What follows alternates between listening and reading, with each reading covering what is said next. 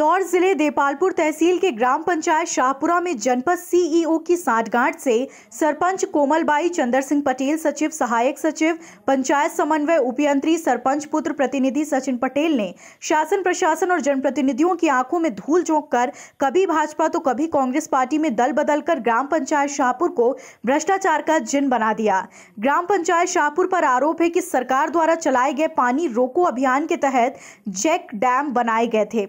उसमें भी जमकर भ्रष्टाचार किया गया। सूत्रों का माने तो पंकज पिता कैलाश और रामकिशन पिता अमर सिंह के खेत के पास बने पुराने शटर चेक डैम के नाम पर नए चेक डैम का रुपया निकालकर पुराने चेक डैम की मरम्मत कर दी गई। इंदौर ज़िले के देपालपुर तहसील की ग्राम पंचायत शाहपुरा में अखाड़े के नाम पर पहलवानी प्रतिभाओं का गला घोटा जा रहा है। शासन प्रशासन ने जनप्रतिनिधियों ने तो एक लाख रुपए की राशि देकर अखाड़े भवन का निर्माण का उद्देश्य पूरा करने का प्रयास किया।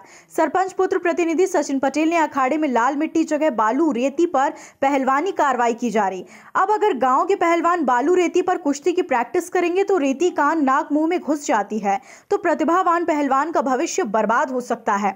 गाँव के पुराने स्कूल भवन पर सरपंच के रिश्तेदार का कब्जा, ग्राम पंचायत शाहपुर के सरपंच कोमलबाई चंदर सिंह पटेल और प्रतिनिधि सचिन पटेल के करीबी ने गाँव के अम्बे माता मंदिर के पीछे स्थित पुरानी शासकीय प्राइमरी स्कूल पर कब्जा कर सालों से रह रहा है।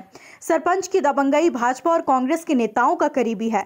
मामला देपालपुर तहसीलदार सहित जनपद सीईओ विकासखंड शिक्षा अधिकारी, जिला शिक्षा अधिकारी इंदौर तक पहुँच चुका है। सामुदायिक शौचालय, टैंकरों के हॉल बुरे ग्राम, शाहपुर में जनप्रतिनिधियों द्वारा दिए गए तीन पानी के टैंकर पूरी तरह कीट खा चुके हैं। इस मामले में कई बार बता दें कि इस मामले में कई बार जनपद पंचायत देपालपुर के सीईओ राजू मेड़ा को फ़ोन लगाया लेकिन उन्होंने फ़ोन रिसीव नहीं किया। मिली है तो मैंने इस संबंध में विकासखंड शिक्षा अधिकारी से बात की है और उनको बोला है कि वो कल ही इसको जाँच करेंगे और जो भी यदि इस प्रकार से यदि गड़बड़ी है तो संबंधित दोषी के खिलाफ कार्रवाई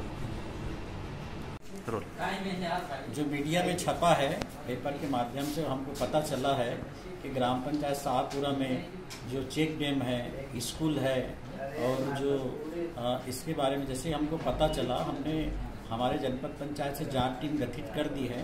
अभी आ, टीम जो है पंचायत जो वहाँ जो चुनाव चल रहा है सावेर में उसमें लगे हुए हैं।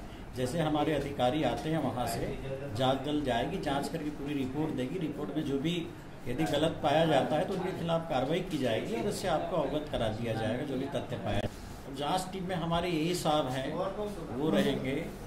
एक क्षेत्र का हमारा जो समन्वय अधिकारी, वो रहेंगे। जो पंचायत इंस्पेक्टर है, वो रहेंगे।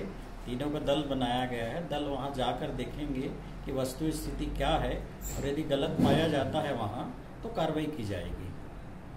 खबर भारतवर्ष के लिए देपालपुर, इंदौर से संदीप सेन की रिपोर्ट। प्रदेश की ताज़ा खबरों के लिए लाइक करें, शेयर करें, सब्सक्राइब करें। और हाँ बेल आइकन दबाना ना भूलें, क्योंकि खबर हमारी फैसला जनतंत्र का।